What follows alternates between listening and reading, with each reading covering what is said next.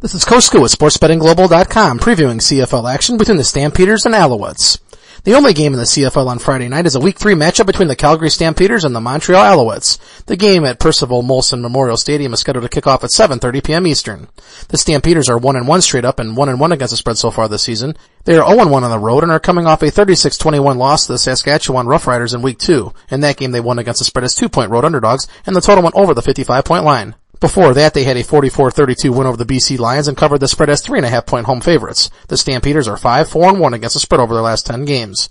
The Alouettes are 1-1 straight up and 1-1 against the spread overall this year. They are 0-1 at home and are coming off a 19-11 loss to the Winnipeg Blue Bombers in week two. In that game, they failed to cover the spread as seven point home favorites and the total went under the 52 and a half point line. Prior to that, they had a 38-33 win over those same Blue Bombers and won against the spread as three and a half point road favorites. The Alouettes are 4-6 against the spread over their last 10 games. Calgary is 13 and 3 against the spread coming off of a straight up loss and 17 and 4 against the spread coming off of a loss spread wise. They are 19 6 and 1 against the spread on Friday night and 1 and 4 against the spread in July. The total has gone over in all five of the Stampeders recent games on Friday and over in 11 of their last 12 games overall.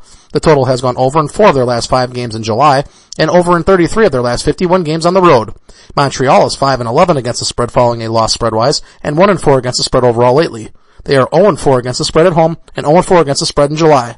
The total has gone under in five of the Alouettes' last six home games and under in all four of their recent games following a straight up loss. The total has gone under in all five of their games following a loss spread-wise and over in 13 of their last 16 on Friday. The total has gone under in three of their last five games overall. Between these teams, the Stampeders are 4-0 against the spread lately. The total has gone over in five of their last six meetings and over in 11 of their last 16 matchups in Montreal.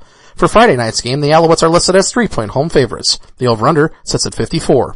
Visit sportsbettingglobal.com for all of our Week 3 CFL betting previews and check out our NFL, NCAA, and other football betting systems. Good luck.